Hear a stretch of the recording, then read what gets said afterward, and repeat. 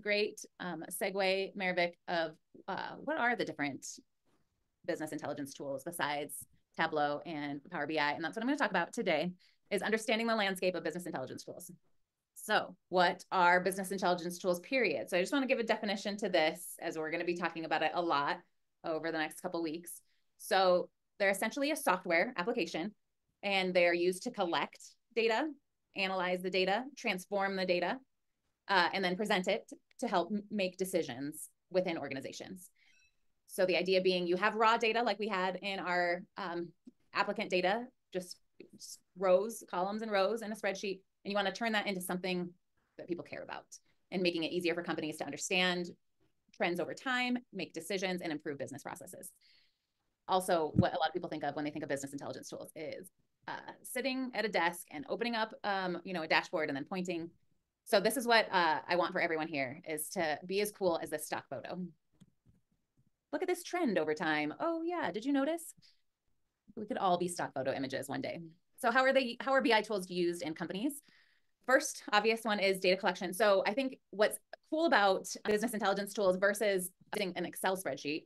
So kind of the graduation is people start in Excel and um, you know that's kind of the basis of a lot of where data ends up is in Excel spreadsheets. But when you're using a software like a business intelligence tool, you can pull in data from different sources. So if you are doing marketing analytics and you run campaigns on ads, you can pull in all of the marketing data and then you can combine it with your data of people that have actually purchased maybe that's in your database and you can add those two data sources together. So that's one benefit of using a business intelligence software.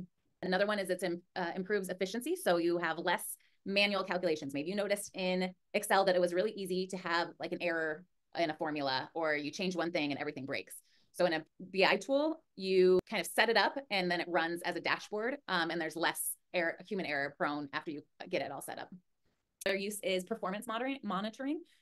So sometimes in companies, you'll walk in and they'll have screens um, mounted in their headquarters and it'll have a dashboard running and it will be big numbers of what their goals are for their sales. Like on, a, on our sales floor, we had big dashboards for the sales team to know how much they sold that quarter and their percent to their quota goal. Yeah, just monitoring progress when you have goals in place, data goals. So another method of goal setting is companies have what's called key performance indicators, KPIs. And so they set those at the beginning of the year or like on a quarterly basis of kind of like a sales goal or quota. We want to hit this much in revenue. So our our KPI for Q1 is $250,000 in revenue. And so then they can have this dashboard that shows as the sales come in how much revenue they've hit so far for that quarter. And then obviously decision making of uh, like what products are they going to develop what markets are they going to expand into resource allocation things like that anybody work at a company that has a bi tool that they use currently can you share about how uh, the bi tool is used internally at your company red cross I mean, there's about a million reports throughout the Red Cross. You would you wouldn't believe how much data goes into blood collection just across the nation. You know, to make sure that we are collecting what we need to. Um, so I have about probably about 15 reports that I run uh, every week just to kind of see where I'm at in our collections and staff performance and stuff like that. So yeah, that's is, is when you say report, is that a dashboard? Yeah. Yeah. So I look at the dashboards and then I export, I export everything. So I'll like export my reports so I can like sift through them and see what's going on. Yeah. Yeah. So a lot of ways to use BI tools in companies. And what I want to show next is the popular BI tools in the market. So here's the the mo what, what I would say were the most popular BI tools on the market. Um, we've got Tableau, which is uh, which was purchased by Salesforce, so it wasn't always a Salesforce company. uh, Power BI, which uh, I'm fairly certain has always been a Microsoft company. We've got Looker, which was purchased by Google, and then we have Domo, which is a Utah-based business intelligence tool.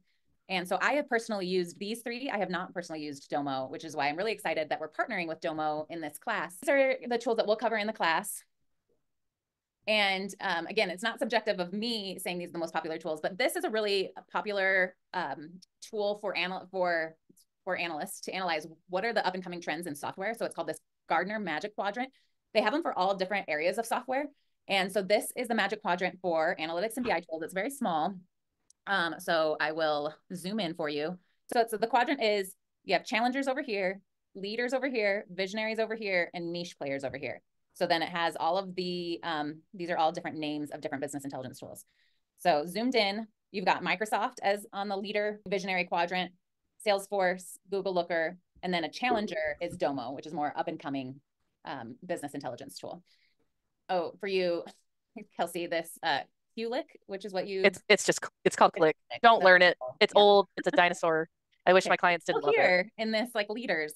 Um, and Oracle is also a dinosaur. Um, you know, so like none of the like not even on here are like the Deepnote or the hex, which are like very much in like this bottom corner, but it's what it's kind of what the like up and coming analysts use, like the startup-y analysts. So these tools are for the more um, like robust, big kind of companies that have like established companies, yeah, yeah, established tools.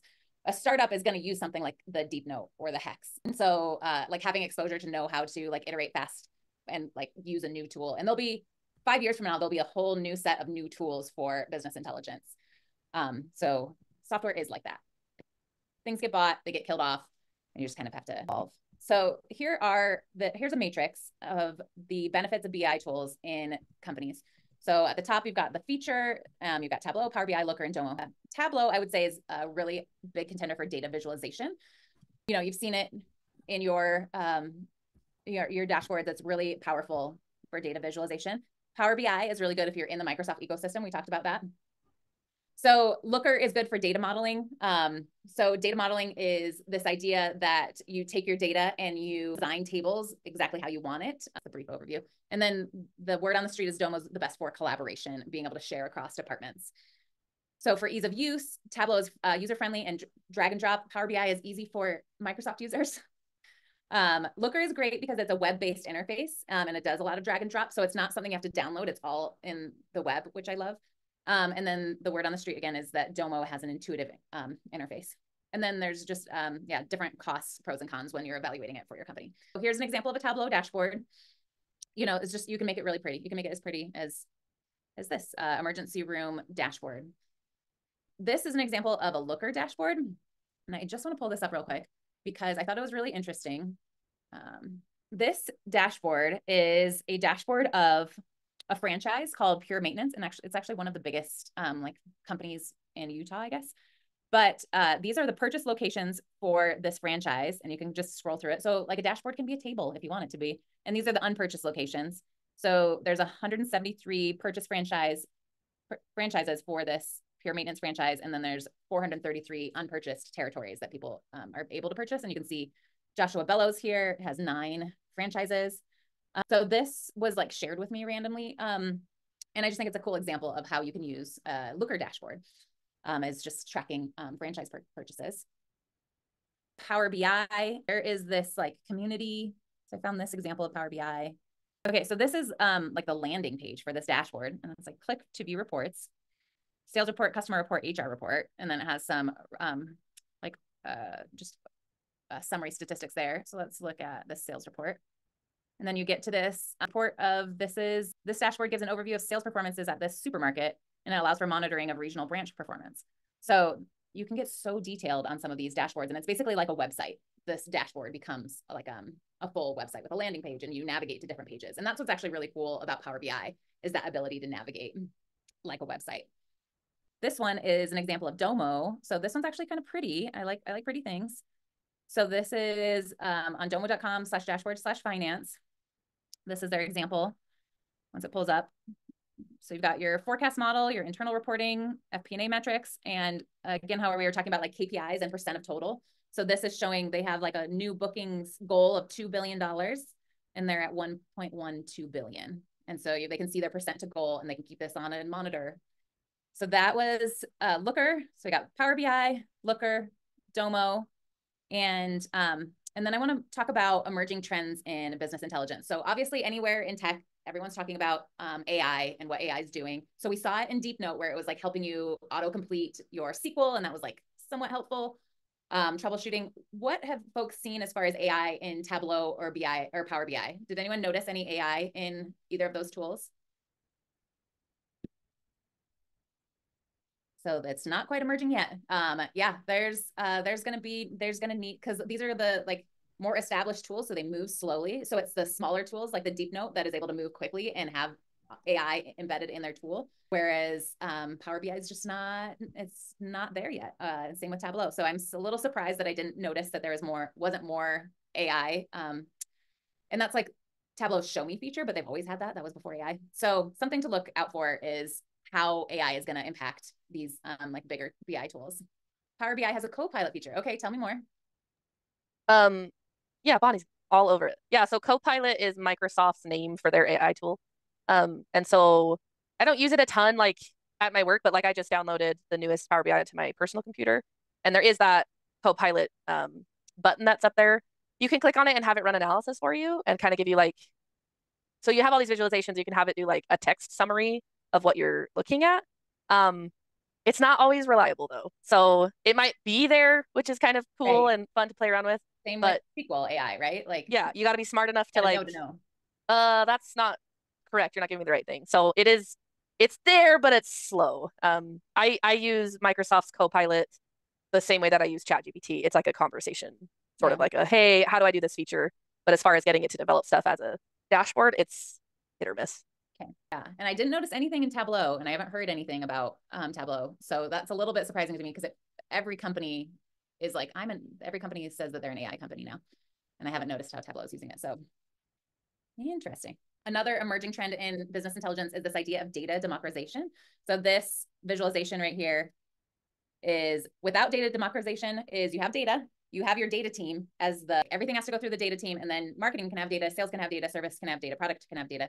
But when you democratize data, um, and that's what we did at GitHub with Looker, we like built out Looker and then the, the sales team could go in and make their own dashboards and the product um, managers could go in and make their own dashboards. And the data team just owned the like warehouse and um, like the tables, but everyone could make their own dashboards because we had like governance over the data warehouse and it made it so much better because we weren't like holding everyone up from having to like, getting a request into data and then us having to pull data and give it to everyone. So that's one um one thing called data democratization democratization. Do you do what do you do about like anyone want to chime in about data democratization in your company, Kelsey or Tanya or um, Keenan? Well, my company has not done a good job of democratizing the data. Everyone pretty much goes through me and the data scientist to get anything. Okay, yeah, and and it's um a little exhausting, right? It slows me down from other things when people like need me to stop and like do a specific report. Like I need you to pull this from the database for me and then give it to me. And so we are actually in the process of automating reports so that they can run them themselves. okay, yeah. So you're democratizing data, and it's a process. Mhm, Yep, Yep. we're working that way. That's our aspiration. Yeah, because really it comes down to the data team just saying, I don't want to answer your questions anymore, and just not having the bandwidth really. Um, and then it's like a forcing function to democratize the data and let everyone self-serve. But you have to have controls of what people can see if there's sensitive information. Um, and then, um, oops, got this zoomed in. So another emerging trend in business intelligence is this idea of embedded analytics. So embedded analytics is really cool. Um, and this is something that we did at GitHub, but I'm going to show you an example of this here. So data.sf.gov is the San Francisco city government has a whole portal dedicated to data. And so here is an example of a uh, Power BI dashboard embedded in their website. And you can go look at the map of registered businesses in San Francisco. You can select the neighborhood here. So I lived in the, so I was in Western Addition. So you can filter right there. I'll go change and apply. And I can zoom in here and it's really interactive. And these are all the businesses in the neighborhood that I lived. And I can click and say, oh, there's Mama Goo's Natural Rem Remedies that, uh, you know, is just down the corner from me. Um, so that's one way that you can embed uh, dashboards into a website and then make it self-serve from there. And then another um, emerging trend is the idea of people are on the go all the time. So they want their dashboards to be able to be viewable on mobile. Um, so making sure, and um, I think there's the, there was this in Tableau. If you saw at the top, there was like a like a view in mobile, so you could test out what the mobile view was. But um, just being aware of when you're building a dashboard in a company, potentially you are able to view it on mobile so that people can see their dashboard on the go. So that's, and then just a shout out to the difference in between the ecosystem and community. So Tableau and Power BI have a very robust community between Tableau Public and all the things on um, Microsoft community. Whereas um, Domo and Looker don't have as much community um, involvement. So I like Tableau when I was first getting started because I could go on Tableau Public and I could get inspiration from all of these different dashboards and pull it down and see what they did.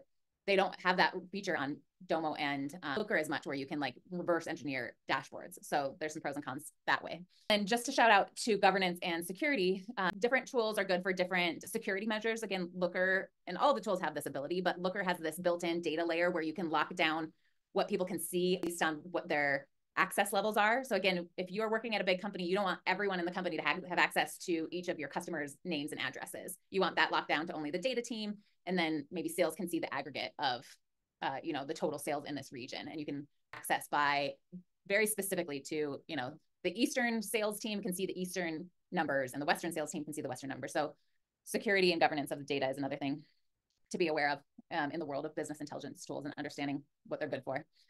So that's that's my overview of um, understanding BI tools. Any questions? Yeah, Catherine. Yeah, I was just gonna say the one that you pulled up about all like the businesses in like San Francisco. I thought that was really cool. Is that all like public record that they've done just for that area? Yeah. Okay. And, um, so this so this will be linked in the slides, so you can go in and check it out. But um, it's called Data SF. You can see the open data, find city data, and like transportation this is I mean, that's so smart. Like, what if you're trying to like compete against other businesses? Oh, I want to start a business in this neighborhood. Well, there's five other businesses like that. So maybe go to the next neighborhood. Like, it's just so yeah. to me. Yeah. So it's all public. So this is like a map of parking meters, but Utah has its own version. So Utah Open Data, State of Utah Open Data Portal. So opendata.utah.gov.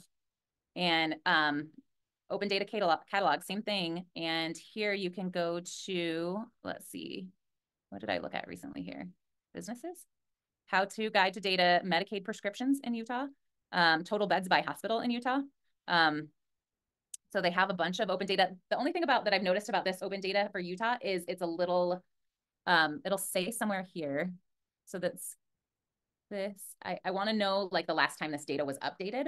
So I can go to about and I can see that it was last updated um, April 19th, 2019. So it's a little old, whereas I think the San Francisco does a better job of um, like having a more updated data. So yeah, so it's it's pretty cool that there's just kind of open data that you can start analyzing in a lot of different areas. So Utah has its own version and San Francisco has its own version. Salt Lake City open data. There we go. Open data. Cool. Active building permits, active planning petitions, yeah, cool. And then you see this was last updated in 2023, so a little more fresh than what we were looking at that was updated in 2019. Water consumption by block. This is Salt Lake City business licenses, but it was last updated in 2018. So just being aware of how fresh your data is. Cool. Well, thanks for listening to my TED Talk about business intelligence tools.